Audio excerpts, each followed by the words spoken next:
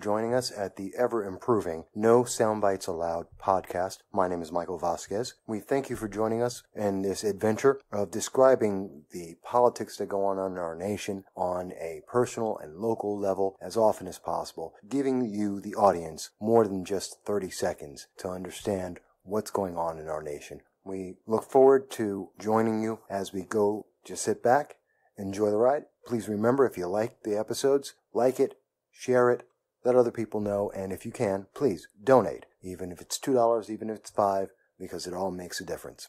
We thank you, and here we go.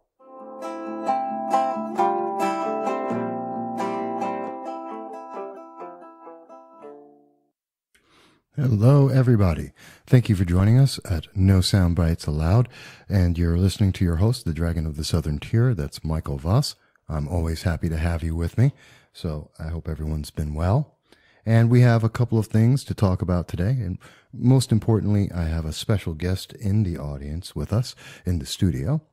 And that is our guest, Dani Cronce.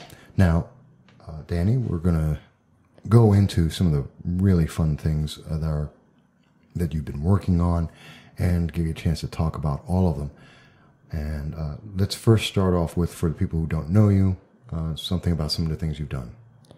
Okay, uh, well, I'm Dani Cronce. I am a community involved person. I am working on three different not for profits at this time. In addition to my other jobs as well. Hmm, okay, so you have three nonprofits. That would be, I know one of them is the uh, Broome County Adopt a Park, which is something that I work with you on. And then there's also the uh, Second Chance Housing. And the third one is the Creative Pioneer. Creative Pioneers, that's right. So it, that's a lot of nonprofits to be working on. Yeah, um, they're all about building the community, whether it's building our parks and tourism, building housing and jobs and intervention for people who are in need, or building jobs for people who just have trouble getting jobs. We have a lot of marginalized workers in Broome County in the southern tier, and my mission is to make sure that we can give jobs to those people who right now don't have jobs.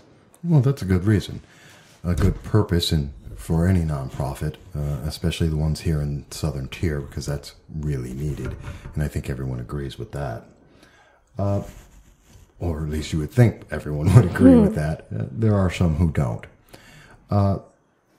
Uh, let me, uh, speaking of, let's talk about some of those nonprofits. Uh, I know it's something that a lot of people have interest in, and let's start with the first one Broome County Adopt a Park. We're both on that. Mm-hmm. Um, it's a great organization. I enjoy being part of it. But tell us, how did you come about making that? Well, I got into Broome County Adopt a Park because I was working on a support group, which I still run, Wishes. It's a disability and family support group. We were discussing parks, and a friend of mine said she never went to the park. And I said, Well, how could you never go to the park? She said, Well, I'm in a wheelchair. I can't go to the park. There's nothing for me to do. Well, well. So I said, Well, we're going to get together and we're going to fix that. I started working with the local legislator, which, which was Jason Garnar at the time. We worked together, worked with the um, Broome County Health Department and the Parks and Recreations Department, wrote a proposal to open up a trust fund in the Broome County Parks for Wishes, which is there today. We've placed $15,000 in the Otsiningo Park. We have about $6,000, which we'd like to put into the Dorchester Park which will go towards musical instruments to help those who have sensory issues or who are blind.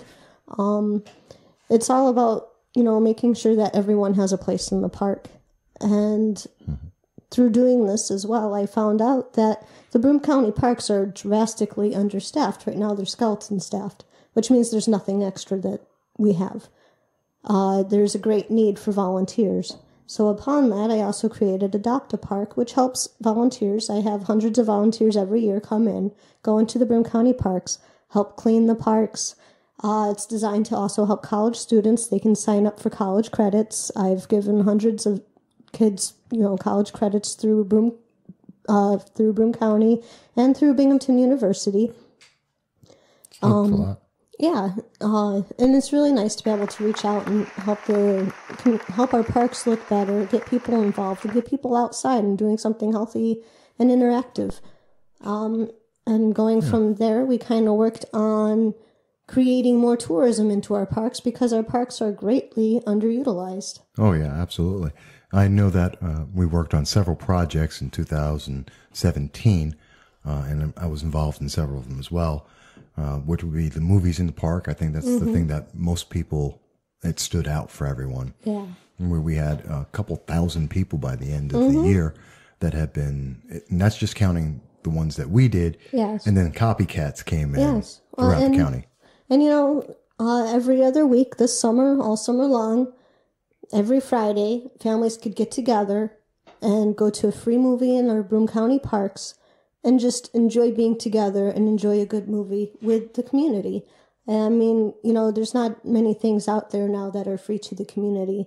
And this is something that's really, really on the hearts of Adopt a Park is to make sure that there are free projects and free events for our community, especially for low income residents that we have.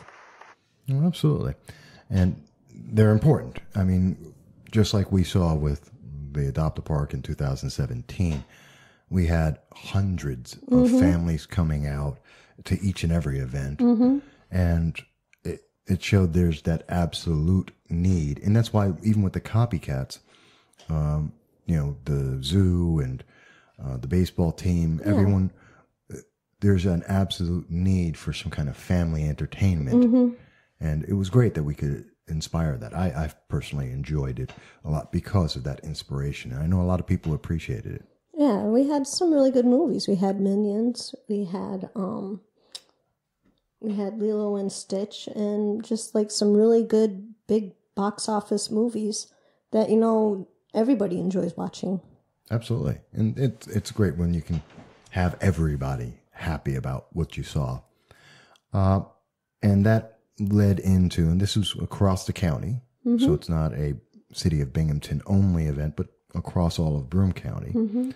And uh, this year, we're looking at expanding it, as you mentioned, doing even more, Yes. uh, a couple more uh, locations and more movies and uh, a couple of other special features that are unique that no one's ever touched on.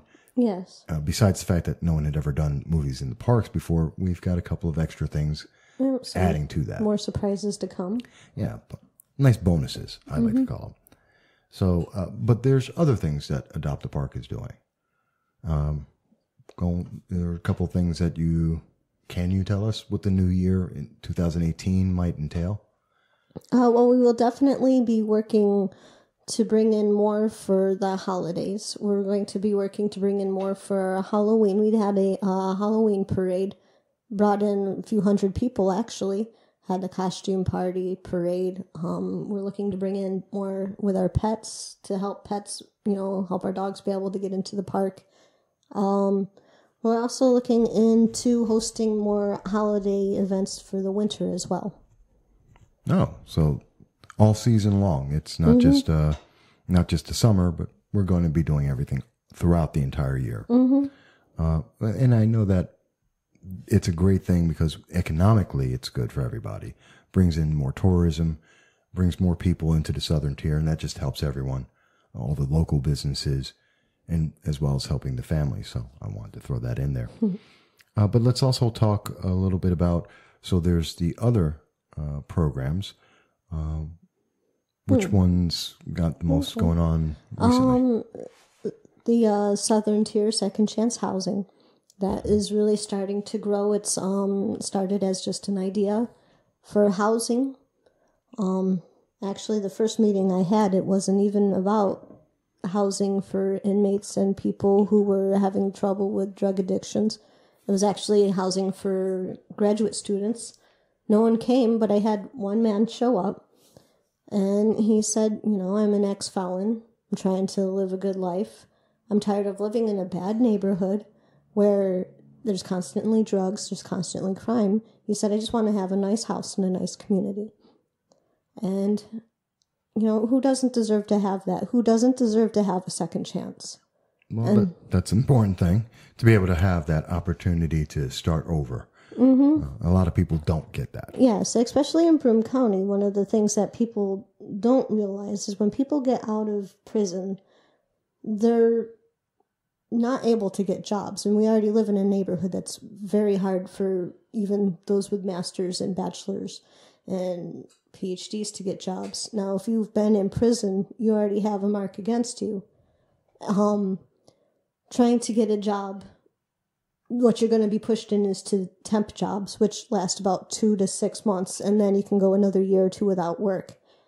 Where does that lead our people who are ex felons, our people who are recovering drug addicts? Where does that leave them? It leaves them to go back into the same system that they went through again. Uh, at some point, we have to break the chain. And what we're hoping to do is break the chain because not only are we trying to build housing that is in good communities that'll help develop and set up those who are struggling into better positions. We're also working to create jobs through second chance housing, through training, through working with the urban leagues, attain labs, so that they can get certified through trades. And they're going to help with a with a trained team and with trained volunteers and with trained paid employees who will be helping them every step of the way to re re take back their life and to build their lives and to have a career and to ha- own a home and to be decent human beings and feel like they are part of the community. Now, when when I was looking into this a little bit, I I noticed that there's uh, this isn't a new idea; it's a template. Mm-hmm. It's part of partially being done already. In uh, you're speaking about for those who are recovering from drugs, um, we have homes for uh, some of the disadvantaged youth and mm-hmm. for those who are recovering from drugs already existing mm-hmm. in Binghamton and Broome County uh, that a lot of people probably don't even know about mm-hmm. That are there uh, and already operating. And so, is this model following that example? No, the homes that the people will be making with second chance housing. Uh, not only are we training the um, are most vulnerable to be able to be self sustaining and make a living. We're also using those homes that we have to place them in the housing. And it's going to be assisted housing, whether they need a lot of assistance or maybe just somebody to come in and st- check on them. It will be assisted housing. Um, and it will be permanent housing. I want to make sure that the people we have have lifelong caseworkers that will be working with them if they have any problems, if there's any need. They'll have somebody there and they're going to have a support system as well through a series of volunteers. Okay. So that, would the homes have, and here's a question I've been asked about this before are there going to be like signs or um, some kind of identifier on where these homes are? No, no. I believe everyone deserves to have their own dignity.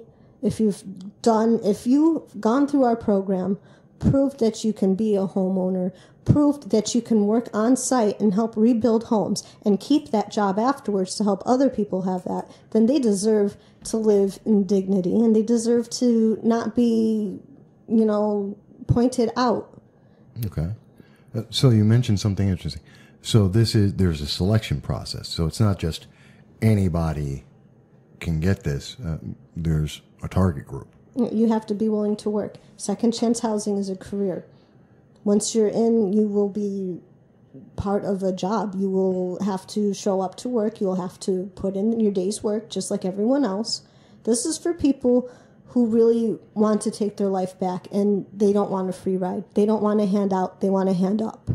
Well, how's the reception been on this so far? Has there been community support? Um, are people interested in this uh, so far? Well, um, people are. I've heard. I haven't really heard any complaints. I know that you've heard complaints, but I have not. Yeah, I hear so. complaints about everything. Um, this is something that you know. It's just uh, there's a need that needs to be filled, and if we can help people regain their lives, you know, I, I lived on Edward Street, lived on North Street, I've seen too many people walking around who have a past that can't get a job. They don't have anything to do except walk around. Let's get them off the streets. Let's give them a job. Let's give them a good house to live in. Let's give them a future. Let's give them an opportunity.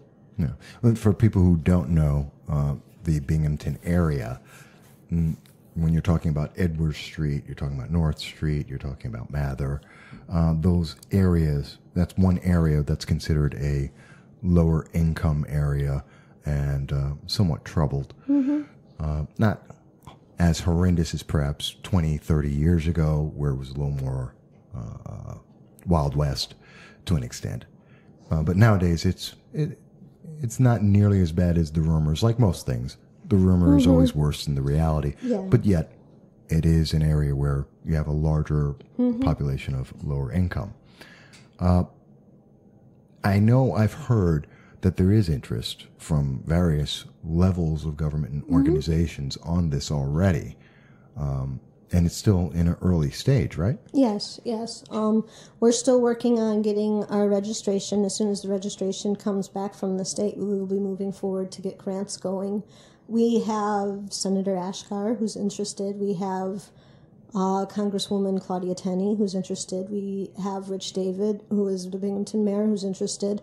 Um, this is something that can really help lift up our community. It can take down crime it can raise up property value and it can bring more tax revenue into our community just through that and we'll be changing people's lives. Well, it's a nice combination of things. Mm-hmm. Everyone likes to see more more income coming in, more mm-hmm. revenue for the city uh, to be able to use, and everyone likes a nice stable environment mm-hmm. and you know cutting down crime. These are all things I don't know many people who are against, as far as I know. Uh, no one's Yeah. told me, "Oh, I'm for greater crime" or anything. So I, I can see that how this could be very interesting, very attractive to a lot of people. well, there's 2.5 billion dollars available for housing for assisted housing. I'm saying that we just use some of that for Binghamton. We need it. We have a lot of aged housing. We have a lot of places that are going vacant each each month. Let's take these homes, let's put them back on the tax roll, let's get them built, let's build up our community, build up our people. And that's one of the proposals of the mm-hmm. second chance housing, as I know, is to actually go into not someone's home and take it away from them, but rather one of the vacant homes mm-hmm. that the city has or the county Yeah, and has. for foreclosed homes, as they're foreclosing, we'll be working. You know, if the, you know, one Binghamton is working with the foreclosed homes, but Mm-hmm. if they can't save the home, then we're asking for help just to get them in. We're like I say, we're training the people to have careers. We're training them to have trades. like That's carpentry, carpentry, plumbing, electricity, electrician, yeah. and fix up the home. Yes, to fix up the home. And like I say, this will be their jobs. This is their career. And imagine how many people that we can hire. Imagine how many homes that we could fix in Binghamton. And, you know, a lot of the times people end up back in jail just because there's no opportunity, there's no jobs, there's nothing for them. Let's take that away. Let's add jobs. Let's add opportunities. It's a new approach to it. Absolutely. Uh, well, let's also, while we have this segment going, I do want to talk about the third uh, nonprofit. Uh, and this one I don't know a lot about. Yes, it's uh, Creative Pioneers. It's twofolds. Uh, the first part is getting donations from, you know, like say it's used stores, secondhand stores, things that they don't want are donations from the community. We'll take, you know, I had a donation of cloth. We have several donations of different crafting things. And using them and, you know, maybe making apparel, making homewares and different things that, you know, we can sell.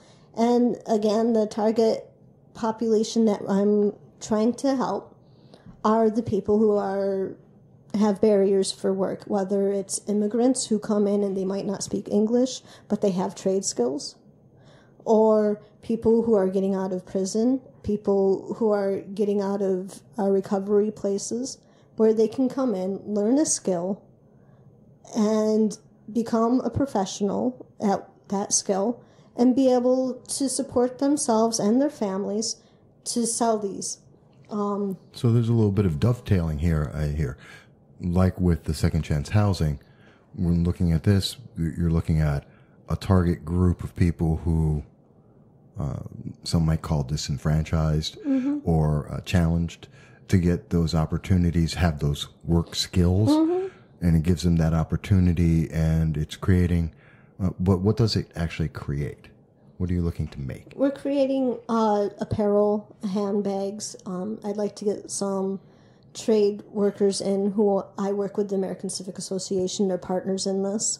Uh, we're looking into maybe finding ways for them to repair furniture, and you know, even looking down into getting local artists to paint some of the furniture for us and selling it and putting Binghamton on the maps as like new art hub for selling furniture and you know sell it statewide sell it national wide So there's a couple of applications here.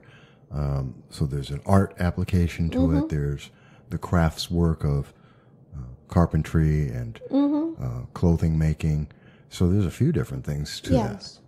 And you already have the American Civic Association. yes we're already partnered with the american civic association i am looking into partnering with um, maybe achieve as well just to help get our our disabled to give them job opportunities as well because i think you know there's a lot of trades that our disabled community can do as well.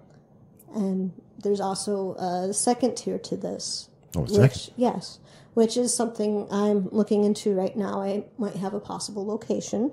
Um, and that is recycling.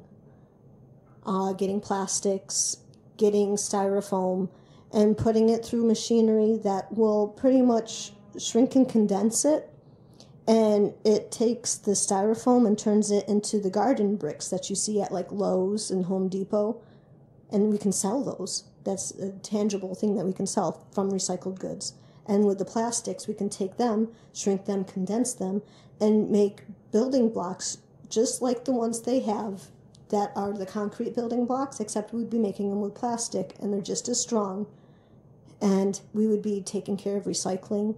We'd be offering jobs. We'd be able to manufacture, distribute, sell. Manufacturing in Yes. New York State. Now, there's something you don't hear a whole lot about. Yeah, and it'd be recycling. That's that's interesting. And I really think that's something that could put Binghamton on the maps, you know. And you know, like I say, we can one we will need trained trained staff. It would open up job opportunities to a lot of people who are underskilled, who don't have the ability. They don't.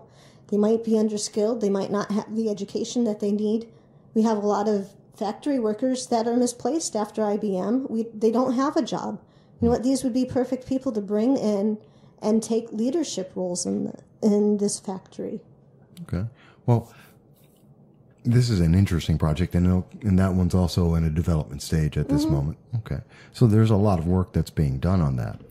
Uh, I do want to ask you a couple of questions uh, in a different aspect of your life, but what we'll do is we're going to take a break. Okay. Uh, but in terms of all the nonprofits, let me ask you if people wanted to get in touch with you uh, about any of the organizations, the nonprofits, how would they reach those nonprofits? I mean, the Adopt a Park, obviously, people can reach me directly, uh, and I'll be able to speak with that. Uh, so that's one. But the other, uh, Second Chance Housing, and the others, Creative Pioneers. Creative Pioneers. I always forget that. uh, it's the new one, so it takes a little while to remember. So it's Creative Pioneers. Um, how would people be able to contact you about that? Uh, You can contact me either send me a text or if you call, please leave a message, and it's 607 201 7887. Or you can reach me at my email, D A C R O N C E S, it's Decrances, at hotmail.com. Okay, and that'll give people a way to find out more information about these, the nonprofits, the organizations to help in, in all those aspects, and they'll be able to reach you that way. Okay, then what we'll do right now, uh, as we want to take a quick break because we went a little over time. Uh, we usually go to about 15 minutes, but I think this was really important to get it all at once. But we'll take a quick break and then we'll come back and we have some other questions we'll talk about um, some of the other things that are going on in Binghamton and Broome County that I think uh, I'd be really interested. So I thank everyone for listening in. Come right back. We've got about two minutes, and then we're going to pick up where we leave off. Hello, everyone. This is Michael Voss, your host here at No Sound Bites Allowed. I hope you've enjoyed our episode here with Dani Cronce speaking about the nonprofits in Binghamton and Broome County and how it can help so many people in our community. Because of the importance of this subject, we're just going to be publishing this segment just by itself, so it's its own little episode. If you wish to hear us continue our conversation with Dani Cronce about some of the politics and other things that are going on to help our community, we do invite you to come back to No Sound Bites Allowed, continuing the conversation from this point. With that, I hope you enjoy the rest of the music here and we look forward to you coming back to No Sound Bites Allowed with Dani Cronce in the future to help our community. We thank you